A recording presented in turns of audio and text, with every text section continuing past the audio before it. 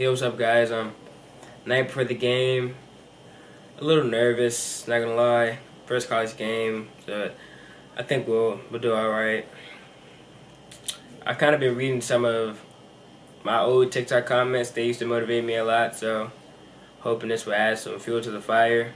Um, I'll I'll read a lot. I'll read a couple of these comments for you. Just um, a lot of these guys really doubted me, and pushed me a lot further. So, um, dusty as hell.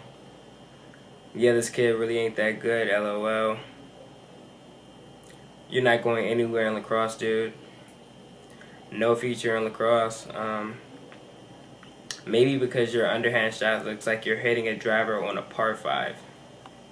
I'm not even sure what that last one means. I think it's the golf term, but you know, a that stuff really. Um, I use it in a positive light. Thanks, camera. A lot of that stuff I use in a positive light, you know, just to kind of motivate myself. So, not taking too much offense to that. Um, gonna use it for motivation for tomorrow's game, and hopefully everything turns out right. Thank you, camera.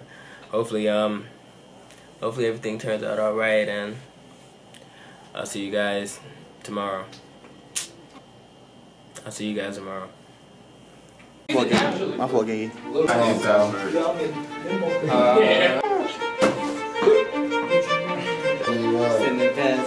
Nice. Nice,